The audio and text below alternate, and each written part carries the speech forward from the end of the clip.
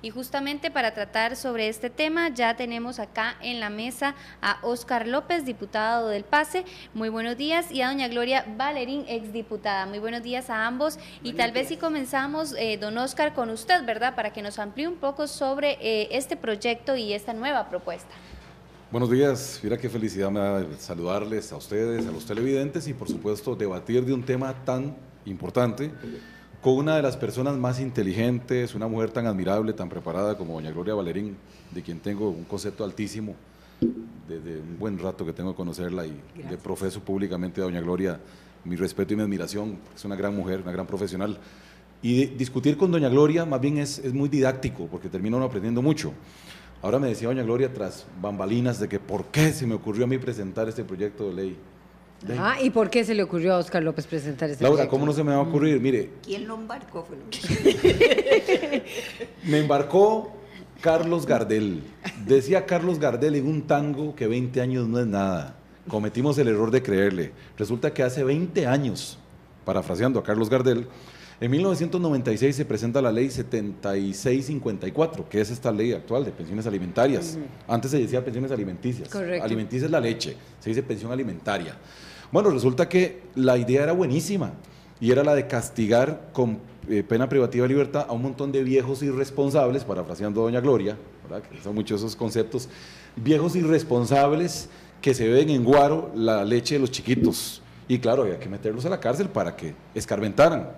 Bueno, no funcionó la fórmula de Carlos Gardel, han pasado 20 años y no hay solución. Todo lo contrario, la ley no vino a contribuir en nada. ¿Por, qué no, Oscar López? ¿Por qué no ha contribuido? Porque los casos vienen en aumento, ya son 157 mil casos de pensión en Costa Rica. Como decía la periodista aquí a su derecha, el año pasado se presentaron casi 15 mil casos. ¿Sabe cuántas solicitudes de apremio corporal hay por día? ¿Cuántas? 100 solicitudes en Guaycoechea diarias. De no van a dar abasto ni las cárceles, ni las radiopatrullas, ni las perreras, no van a dar abasto. Y sabe qué es lo más lamentable. Yo sé, yo espero que doña Gloria coincida en esto conmigo, que no todos son hombres irresponsables. Mi proyecto de ley no es para defender a esos viejos irresponsables que menciona doña Gloria Valerín. Mi proyecto de ley es para ese hombre responsable, amoroso, que quiere a su hijo, pero que cometió el delito de no tener trabajo, no tiene trabajo, no tiene dinero. ¿Por qué castigarlo como si fuese un maleante, tirarlo en una cárcel seis meses? Donde además, según el artículo 25 de la ley 7654, pues a esa persona se le suprime la pensión por seis meses. Entonces el chiquito no recibe pensión, el tata en la cárcel seis meses, la mamá no se lo lleva a visitarlo, esa ley vino a dividir y a destruir relaciones bonitas entre padres e hijos, lamentablemente, y no le garantiza manutención al niño. Gloria Valerín es diputada y expresidenta del Instituto Nacional de las Mujeres. Bueno, muy buenos días, muchas gracias. Buenos días, a don Oscar, un gusto estar con ustedes para debatirse de un tema muy importante, sobre todo para los niños y las niñas de este país. Vamos a ver, esto no sucedió hace 20 años, don Oscar. La ley sí. No, la ley es una reforma a otra ley. Hace 20 años se reformó. Que además se basaba en una ley de 1932 por ahí, pero que además estaba basada en el Código Civil. Entonces, si quiere echarle la culpa de a alguien de esto, es echársela a Napoleón, porque de ahí, de ahí viene el apremio corporal, que es una figura del derecho civil para compeler a una persona que cumpla con una obligación. En aquellos tiempos, una obligación civil. Correcto. Esto lo incorporó y esos son culpables también, el constituyente del 49, porque ya estaba en la constitución de 1871. Yo ni había nacido, doña Gloria. Sí, ni yo tampoco. Y este, lo incorporó porque siempre se ha entendido, desde tiempos ya muy viejos, se ha entendido que el derecho a ser alimentado es un derecho fundamental. Lo es. Sobre todo un derecho fundamental de los niños. Sí, señora. Y entonces resulta que sí es efectivo el, premio corporal, que es lo segundo que usted dice, pero déjeme explicarle por qué. Mm, mm. No son 157 mil casos, son 180 mil casos distribuidos en 75, juzgados, de pensiones alimentarias en Costa Rica. Sí, pero yo ya le voy a explicar cómo usted puede contribuir mucho a, resolver eso. Este, estos de estos 180 mil casos, se libran, se giran en Costa Rica 200 mil órdenes de apremio corporal por año. ¿Ah? Bueno. 100 al día. Resulta, más de eso, resulta que este, de esos 200 mil que reciben orden de apremio, o llegan a tenerla por lo menos pendiente, solo 300 van a la cárcel. ¿Por qué creen ustedes que de 200 mil solo 300 hay ahí? ¿Por qué cree usted? Porque si no hubiera premio corporal, la gente no paga, simplemente no paga. No, no, no. No paga. No necesariamente. entonces, esto habla de una enorme efectividad de la medida compulsoria, que es el como amenaza, como, claro, claro, y que la Sala Constitucional ha justificado constitucionalmente en el hecho de que es una garantía, igual que el habeas corpus, igual que el amparo, es una garantía para que el derecho fundamental a los alimentos se haga efectiva. A mí me parece que el proyecto de ley de don Oscar este, tampoco resuelve el tema del trabajo de los señores. ¿Por qué no? Porque digamos es un planteamiento que le he escuchado, bueno, mucho porque a, a mí me parece muy bien, esa es, esa es la única parte que yo rescataría de su proyecto de ley, porque me parece una buena idea. Solo que eso usted no lo arregla con una bolsa de empleo. Vea, los privados de libertad hay que buscarles fuentes de empleo, hay que poner a las instituciones públicas. Pero está en mi proyecto. Sí, sí, pero, pero no como una bolsa simplemente. Es entrar en convenios con la empresa privada para que les den trabajo. Doña Gloria, pero usted... Hacer posible que las garantías de ellos se respeten, pero que también sea ventajoso para pero el empresario. Pero es que no hablemos de reos porque no son delincuentes, doña Gloria. El primer no, yo no error estoy hablando, yo no estoy el hablando primer reos. error que usted comete es calificarlos de esa forma. No, son privados son de libertad. privados de libertad porque el sistema perverso, el sistema perverso, desde Napoleón a la fecha, yo lo circunscribo en los últimos 20 años por la reforma, esta ley 7654. Son privados de libertad porque no pagan. Sí, son privados de libertad. No, no pagan porque no hay una alternativa. Le voy a decir, el Estado costarricense gastó 5 mil millones de colones en un contrato para limpiar cunetas. De 200 ¿Por qué no le damos oportunidad a gente que no es delincuente, que trabaja en cosas de esas? ¿Está de acuerdo? Totalmente. Bueno, entonces mi proyecto es una maravilla, doña No, Gloria? no es una maravilla, es un pero desastre. Está de acuerdo. Es es como decía este Está de acuerdo, pero mi proyecto es un desastre. Es un disparate. Ya le voy a decir por qué. Ya le voy a decir por qué. El tema del apremio corporal nocturno no es nuevo, está en la legislación chilena. Correcto. Ahí está por 15 días. Don Oscar López viene, o quien le vendió esta idea a don Oscar López, viene y lo pone eh, por 24 horas. Entonces vea lo que significaría que uno no pague la pensión alimentaria.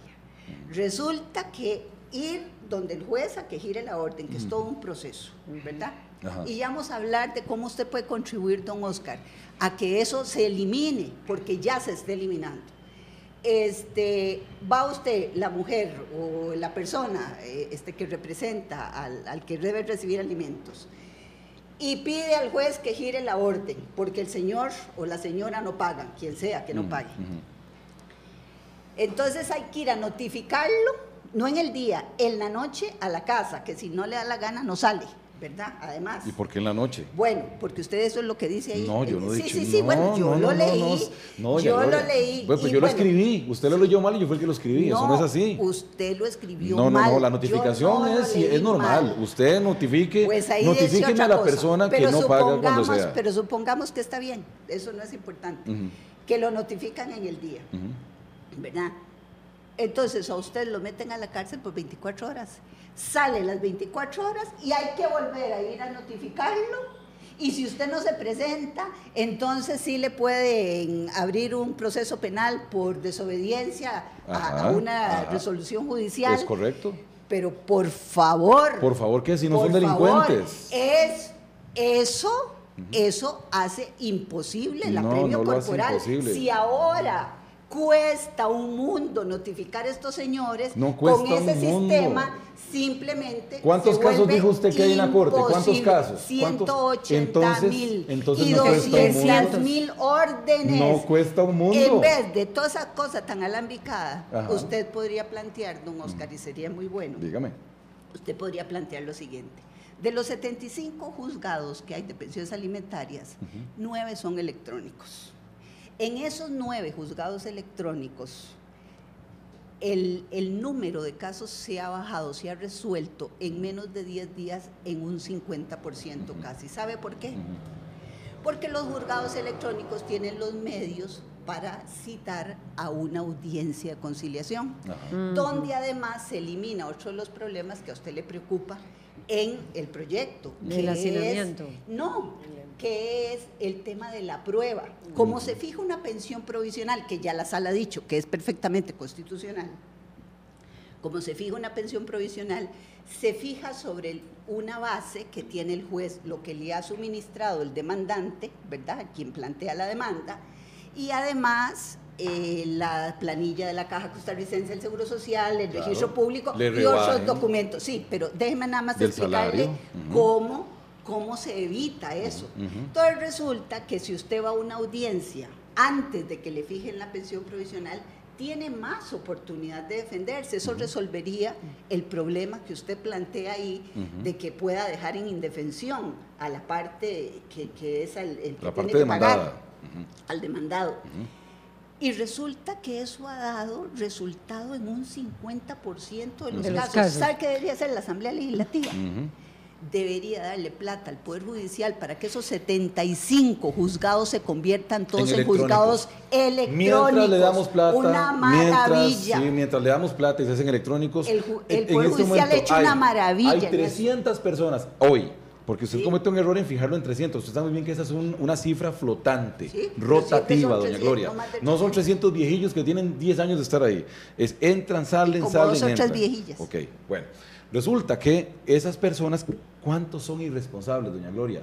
¿Cuántos de ellos son gente que se bebe la plata en Guaro? No, muchos, la mayoría de los 160 mil o 180 mil casos de gente que porque tuvieron un problema con la mujer, incluso usan al niño como moneda de cambio. Eso ya es una subjetividad suya. No, es una realidad. Niños son usados como, mecanismo de chantaje y como moneda de cambio. Ningún estudio, claro que sí una apreciación suya. No, ninguna apreciación, es una realidad que se vive en este país. Es que no todos los maridos son tan buenos y tan responsables como el tuyo, que nos está viendo en este momento, que le mando un saludazo. Le aseguro. Muchos. pero además le aseguro. Los usan a los niños como moneda de cambio. Que si se giran 200 mil órdenes y solo 300, aunque sea una población flotante, van a dar a un centro de detención, es porque la mayoría ¿Sabe puede cuánto nos cuesta mantener a cada persona? O sea, vos no irresponsables. La mayoría puede pagar, Oscar López. Mire, ¿sabe cuánto nos cuesta mantener a un privado de libertad? 33 mil colones por día,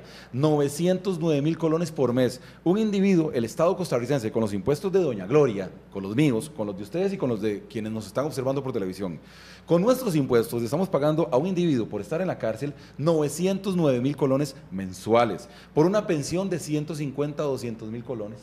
ese contrasentido es lo que yo estoy buscando acabar. porque estamos nosotros manteniendo gente en una prisión? Gente que no ve, no ve al hijo, no lo abraza, no lo puede tener. Son 300, don Oscar. No son 300, 300 son hoy. Que los que hay ahí no han cambiado en muchos años, son 300. No, ¿Qué quiere que haga? Gloria, no. Pero es una minoría los irresponsables. Pero si usted eh, entiende que con su propuesta usted va a tornar en imposible la pensión alimentaria para los niños de este país. de ninguna manera, no, la va a tornar. Y quiero decirle, usted me está contando, que me parece muy bien, que está estudiando una maestría en Derechos Humanos.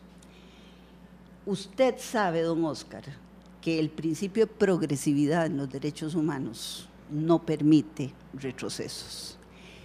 La forma en que usted está planteando lo del apremio corporal hace imposible la ejecución de esa garantía. No, esa es una opinión muy subjetiva suya. No es subjetiva, se lo dice una persona que ha estudiado leyes durante varios años y que tiene experiencia en esto. Sí, sí, pero yo lo que le digo es, que, eso, no, Dios libre, pues si yo estoy casada y tengo hijos, y usted lo sabe. Sí, por supuesto. Y quiero mucho a los hombres.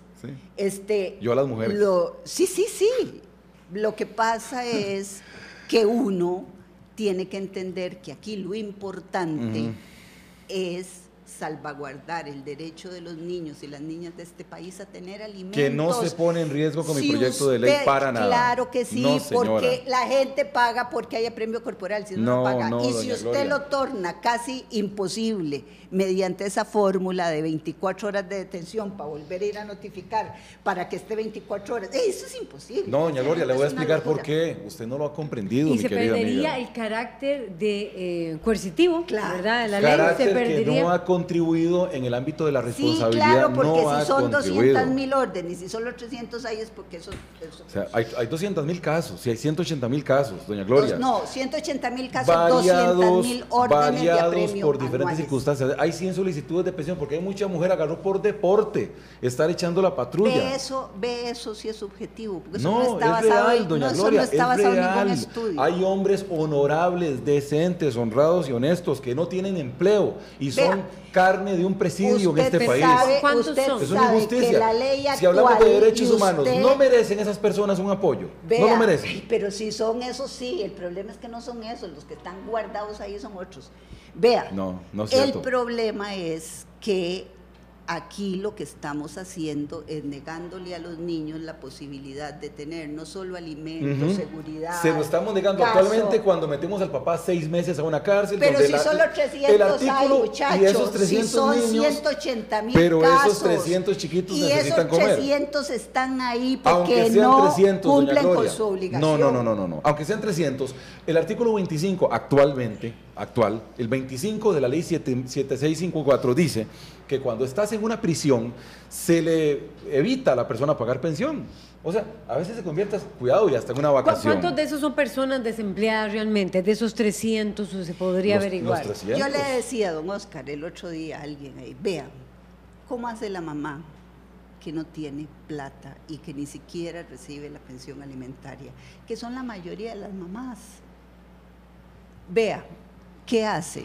lo que sea necesario. Yo siempre pensé, pues yo tenía muchos chiquitos, de que si algún día me quedaba sin trabajo, tenía que hacer algo, hacer pan, hacer empanadas, ir a vender, lo que fuera.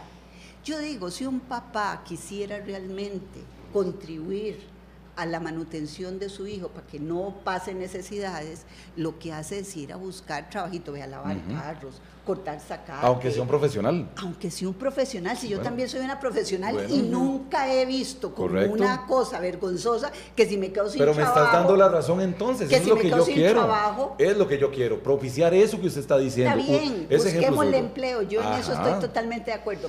Pero cambie ese proyecto y en no vez lo de cambio, hacer más bien le voy a hacer un error suyo haga una verdadera bolsa de empleo y además transforme los juzgados el proyecto contempla de pensiones la bolsa de alimentarias en ¿Qué posibilidad ve usted de transformar, como plantea doña Gloria, y convertir esto en juzgados electrónicos, eh, ya que se resolvieron 50% de los casos con audiencias de conciliación? Eso por supuesto que no tiene nada que ver con mi proyecto. ¿Por qué no? porque eso es un tema aparte. El, presupuesto de la Corte la, Suprema de Justicia... ¿La conciliación no lograría atenuar que esas 300 personas estén en la cárcel? la plata de la Corte no está en mi proyecto. Yo como diputado responsable creo que hay que darle dinero a la Corte Suprema de Justicia. Siempre he sido un defensor del presupuesto judicial.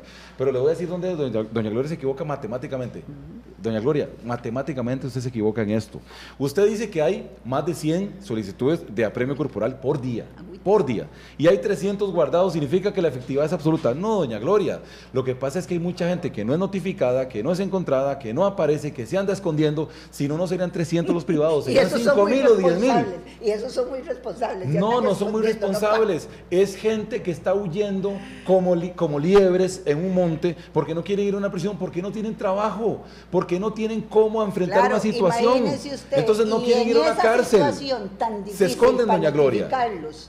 Y para que paguen, y este señor quiere convertir el apremio corporal en 24 Porque horas. Porque no son delincuentes, es gente con la que se puede Pero son obligados, tienen responsabilidad con sus hijos y, la sus quieren hijas. cumplir, la quieren cumplir. No, si Pero no con la amenaza de que si salgo a buscar trabajo, me detiene una persona en la esquina. Usted sabe que la ley, y usted tiene una reforma en esa parte de la ley, en el proyecto, dice que si la persona no tiene trabajo y prueba que, que ha buscado trabajo y no puede, el juez le da hasta un mes, él lo pasa a tres meses. Correcto. Ve, yo creo que el juez puede ir ampliando eso según vea si la persona está buscando empleo. Claro, hay un problema porque usted de empleo. Puede Por eso preguntaba entender, cuántos de esos no Porque pues, usted puede entender que eso pase, pero usted no puede eliminar el apremio corporal porque eso es inconstitucional para comenzar. No, no es inconstitucional. Y porque eso lo que va a hacer es empobrecer a los niños de este La Constitución política dice que nadie puede ser privado de libertad por por, 180 mil, don, sí,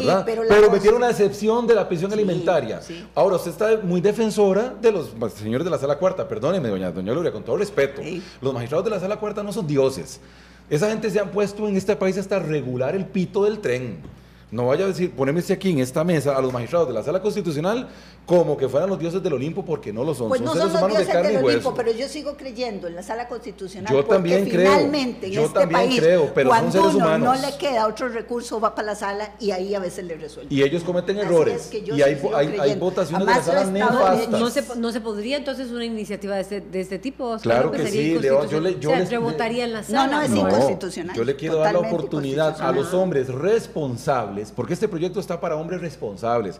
El irresponsable. Usted no hace distinción ahí. Usted no lo tengo por qué hacerlo. Eso lo hace cada quien en la ah, práctica. Entonces Yo no puedo poner eso en un proyecto de ley. pero en la está práctica, protegiendo a los irresponsables no, entonces. Claro dejemos a los irresponsables donde tienen que estar y los responsables que no se me anden escondiendo como que fueran delincuentes porque me van a notificar, porque me van a, detener, porque voy para una cárcel seis meses. ¿Cómo va a no puede ver a su hijo en una escuela, no puede abrazar a su chiquito. Eso no tiene sentido. Eso, se diferencia con la conducta de cada quien. Eso no tiene sentido porque usted, si no hace la distinción en el proyecto para los que usted llama irresponsables y lo que llama responsables está aplicando es que eso es un concepto ¿Cómo ha sido esa experiencia en Chile? Decía Gloria Extraordinaria. ¿Por, qué? Extraordinaria ¿Por qué? Porque la gente tiene la oportunidad de trabajar, tiene la oportunidad en Chile, tiene la oportunidad de trabajar, de ver a sus hijos, de motivarse porque no son maleantes, no son delincuentes. Oscar, en Chile, en Perú, en Francia, en todo lado pasa lo mismo. pasa, lo mismo.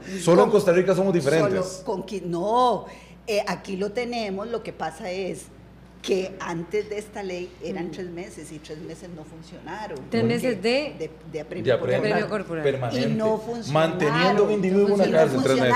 Ahora eso se cambió, eso se cambió. Y sales a los seis meses y le dan un mes para que busque trabajo. Si no, ¿qué pasa, doña Gloria? Otros seis meses Pero a la ¿dónde queda el carácter de la Pero son 300 de 180 mil y le voy a decir, son 300 no son porque no han podido agarrar al resto, doña Gloria. porque, se, porque, se, porque se están cuidando, doña Gloria. Entonces lo que hay que hacer es Son 300 que los han agarrado. Pero hay ah, miles que están en este momento pidiéndole a Dios, Dios mío, que hoy no me carguen, yo quiero buscar un trabajo, amo a mi hijo, no tengo empleo. Toda la mañana pasan en eso, buscando la posibilidad, salen a buscar trabajo y haciendo la cabeza para aunque eso Sea demostrable, aunque eso sea demostrable ante un juez, actualmente, actualmente no se permite. Las doñitas, ¿saben qué, ¿sabe qué hacen?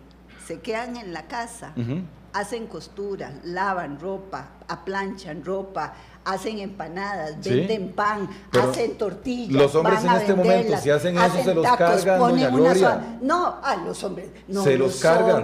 conozco hombres que lo hacen, don Oscar. Sí, yo también. Conozco hombres a esos son los que estoy defendiendo con mi proyecto de ley. No, usted está defendiendo a los irresponsables. No, no, señora, no. Conozco de hombres manera. que hacen lo necesario para darle el sostén a sus hijos. Y cualquier juez al que un hombre llegue y le demuestre que está haciendo lo posible y que estos son sus ingresos. No, es mentira. No le va no, no, a no, no, no, no, no, eso es mentira. Porque además en la, práctica pensión, no es así. La pensión Aquí basta con la palabra de una mujer para que metan no, en la cárcel a un hombre. No, sí, señora, y así está en la ley actual. basta con la, palabra de una mujer y si la jueza es mujer, se jodió el tipo, pobrecito. para la pensión provisional. Si es jueza de, familia, se lo llevó la trampa. Y, eso es lo que yo quiero evitar, esa injusticia es la que quiero evitar.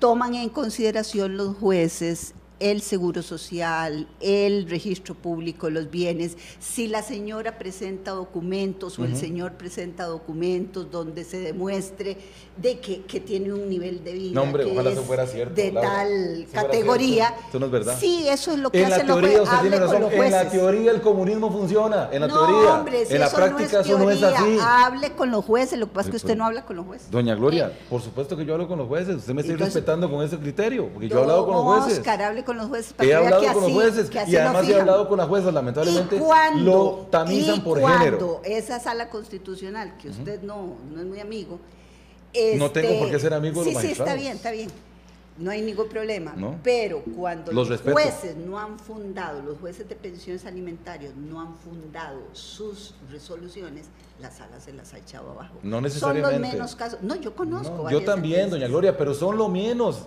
Las injusticias están a la orden eso del se día. estrellar. Injusticias, Porque injusticias. eso, así, para decirle lo menos, ese proyecto es un disparate. ¿Por qué se estrellaría? ¿Cuál sería la argumentación? Porque en materia de derechos humanos usted no puede ir para atrás, porque es una garantía que protege un derecho fundamental. Y, un, y Costa Rica, siendo un Estado de Derecho, habiendo firmado convenciones, teniendo una constitución política que protege la premio corporal, no puede modificarlo con una ley, entonces va a estrellar ahí. Aquí el único derecho fundamental es el derecho a la manutención del niño. Y eso no se está tutelando con un papá seis meses en una cárcel donde al momento que cae la cárcel ya no tiene que pagar sí, pensión pero esos ese échele la culpa al constituyente, que es el que estoy dice equivocado con eso. dígame si estoy equivocado. Sí, sí, está equivocado. entonces, ¿cómo que estoy equivocado?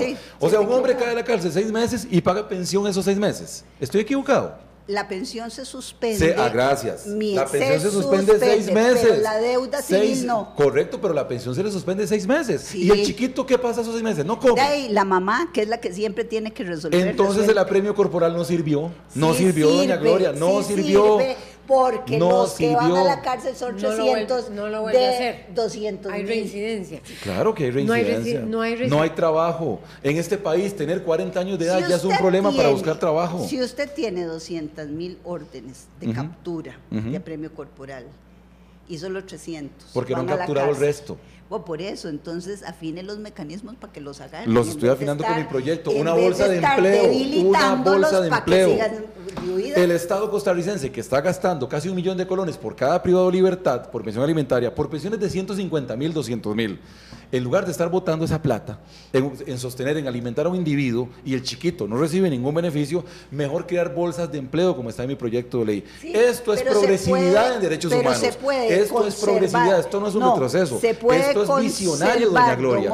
que ese individuo trabaje trabaje por su hijo, démosle la oportunidad. No lo tengamos ahí engordándolo en una cárcel. Se puede no es un delincuente, no es un la garantía, se puede conservar la garantía de la premio corporal y al mismo tiempo crear condiciones que sí, haciendo este prensitas en una cárcel, doña Gloria. O prensitas o lo que usted quiera, yo no sé. En la calle puede buscar trabajo, ¿por qué los mantenemos? Démosle la oportunidad de trabajar, el Estado costarricense tiene que hacerlo. crea una bolsa de empleo no solo la crea para los privados de libertad, Mi proyecto contempla la bolsa de empleo. que tiene que pagar una pensión ¿Qué pasa también con el subregistro que se crea de estos que van hasta el juzgado, de estos casos que van al juzgado? ¿Qué pasa con eh, las familias o las parejas que se ponen de acuerdo y nunca llevan a un juzgado la pensión, únicamente eh, establecen un monto entre ambos y... Sí, es una especie de conciliación anterior, está bien, eso está bien, a mí me parece que eso está bien. Por eso yo le decía que si en los juzgados electrónicos el 50% de los asuntos se ha resuelto con la complacencia de ambas partes, lo que deberíamos es replicar esa experiencia. Oh, una, una, porque ya tenemos comentarios, ustedes los han generado y ya tenemos que seguir ir cerrando, pero esos 300 personas, siento que don Oscar López piensa que mm, son, son víctimas, pero algunos de ellos no serán personas que no quieren trabajar. Algunos de ellos, sí, por ¿Ah? supuesto, algunos, la minoría. La mayoría de hombres en este país, la mayoría de hombres, de los que están en, prisión y de los que están escondidos para que no se los levante hoy una perrera, son hombres responsables, son hombres que aman a sus hijos y que su único delito ante doña Gloria Valerín es que no tienen trabajo para pagar una pensión y merecen ir a una cárcel. a la cárcel usted porque no paga una pensión. no, esa forma es perversa de calificar al hombre. los niños no es ante mí. Quitémosle a ese papá al niño. Es un papá malo porque no quiere que al niño. No, que no, vamos, vamos a leer los comentarios. ¿Cómo que qué ¿Qué es? Lo que pasa es que tiene que pagar porque chiquito tiene que comer. pero, ¿Y qué vas a hacer si tenés que alimentar Pero en la cárcel no paga, doña ah, Gloria. bueno, pero la mamá queda la mamá que lo ha mantenido durante todo el tiempo que el irresponsable Ah, entonces es que hay que complacer la voracidad de la mamá. Ya no es el niño lo que importa, es la mamá. La voracidad. De la mamá, ya no importa el niño ¿Cuál es el promedio de las pensiones alimentarias? No, no, no. A mí me interesa el niño, que el niño tenga un papá que lo ame, que lo abrace y que se motive a buscar trabajo. Cuando hablamos de 180 mil, hablamos procesos. Eso significa que a veces hay tres, dos, cuatro niños en un mismo proceso. Ajá. 95 mil pesos. 95 mil colores. Vamos con los Hay comentarios. pensiones de 10 mil pesos, de 15 mil. Esa es la voracidad de las madres. Eso había antes, cuando usted empezó a estudiar Derecho, doña Gloria. Dios. Vamos, a ver los comentarios en este momento. Ay, por Dios. Vamos a ver. Eh, Varo nos dice, el problema por general son pensiones alimentarias desproporcionadas. Si fueran justas, que el que no pague va a la cárcel. También tenemos el comentario de... ¿Sabe cuántas pensiones mayores de 1.500.000 pesos hay en Costa Rica?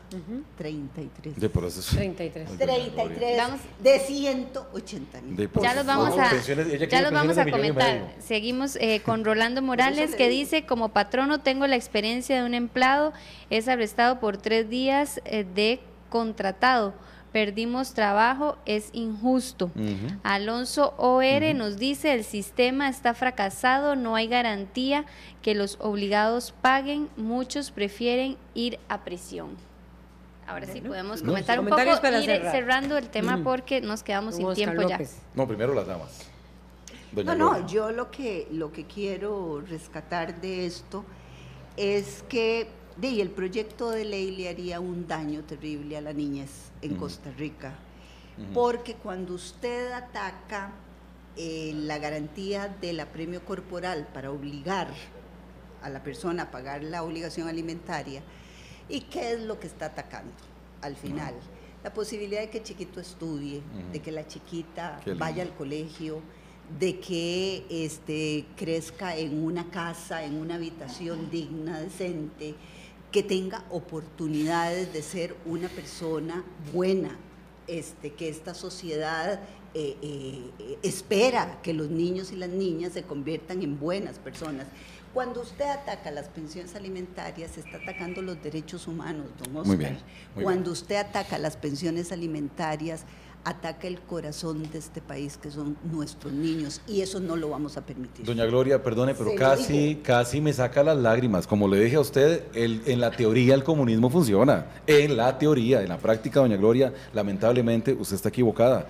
No hacemos nada con un señor, seis meses en una cárcel, ahí se le congela la pensión, entonces el chiquito no come, no estudia, como dijo usted, no aprende nada, no recibe unos zapatos, porque está seis meses en una cárcel. Lo mantenemos los costarricenses 900 mil colones por mes, cuando la pensión podría ser de 150 mil pesos. No trabaja, si sale, sale un mes este círculo vicioso y además perverso es lo que yo combato. Quiero darle una oportunidad a los hombres buenos, no a los irresponsables, doña Gloria. yo el problema es como la ley vela por los hombres buenos. Doña Laura, doña Laura, partamos de un principio, principio general del derecho, artículo 7 del Código Procesal Civil. Toda persona es inocente hasta que no se demuestre lo, contrario. Resulta que no estamos hablando de... No, no, permítame terminar, por favor. No son delincuentes, no son maleantes, no son pillos. No, ¿Por qué tratarlos como tal? Son desobligados por circunstancias como no tener trabajo y no tener dinero. No merece que se le trate como maleantes. Conozco hombres que están en prisión, que han guardado prisión, que aman a sus hijos. Sus hijos los aman. La mamá no se los lleva porque la mamá no va a denigrar al chiquito llevarlo a una prisión, a visitar al papá el domingo. Él no produce, él no trabaja, él no le paga nada. No, esto vino más bien a destrozar relaciones bonitas de padres e hijos, doña Gloria. Hay mamás, y lo digo, que usan, a sus hijos como moneda de cambio, como moneda de, coerción. Su problema es con las mujeres, no, no ningún problema. Yo soy como las canlón, las quiero a todas, doña Gloria, pero la verdad sea dicha. no, ningún problema. Mi problema, es con la división e entre hijos y padres. Contra las mujeres. su problema, doña Gloria, es que usted quiere ver a todos los hombres en la cárcel y, no es así. Y eso que voy a querer verlos a todos sí, pero es lo que es lo que es lo que se ha pasado toda la ah, mañana diciendo, ¿no? yo, yo les quiero dar una oportunidad. Yo también a los irresponsables, pero a los que no lo son, les quiero dar una oportunidad. Y a los que, trabajen, no, lo son, no tienen ningún problema. A los que trabajen. Agradecemos muchísimo la participación de ambos, de verdad. Lamentablemente se nos acaba el tiempo. gracias a pues la muy interesante. Gloria Valerín y hasta se hicieron propuestas en esta mesa. Muchísimas gracias. Vamos a una pausa y ya venimos con el tema de, eh, de Cuba.